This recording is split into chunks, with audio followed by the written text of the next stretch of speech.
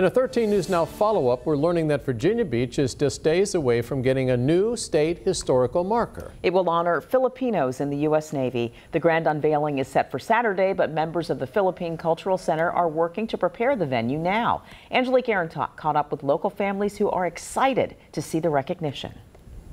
A celebration on Saturday will honor the longtime contributions of service members from the Philippines. In November, we told you the history of Filipinos in the U.S. Navy. Sometimes their sacrifice goes unrecognized, but hopes are a Virginia historical marker commemorating them will change that. Community leaders like Dr. Arlene Fontanares believe the marker will honor all Filipino veterans. But also the sacrifices that their families went through to help support them. Her father served decades in the U.S. Coast Guard. Her mom, Feli Fontanares, described some of the challenges she faced, like this instance in Texas for that discrimination when we were driving from California, they moved our car to here in Norfolk.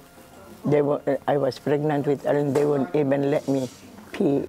And she recounts her husband called out to sea just days after each of their children was born.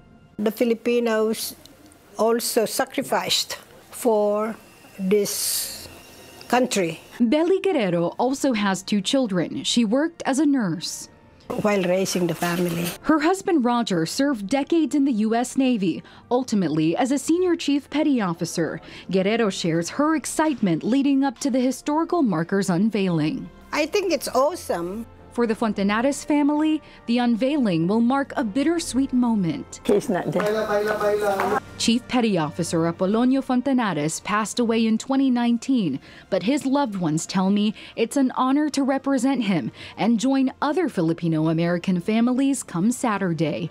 In Virginia Beach, Angelique Arintok, 13 News Now. Anyone is welcome to join the unveiling ceremony on Saturday. It runs from 9:45 till noon at the Philippine Cultural Center of Virginia in Virginia Beach.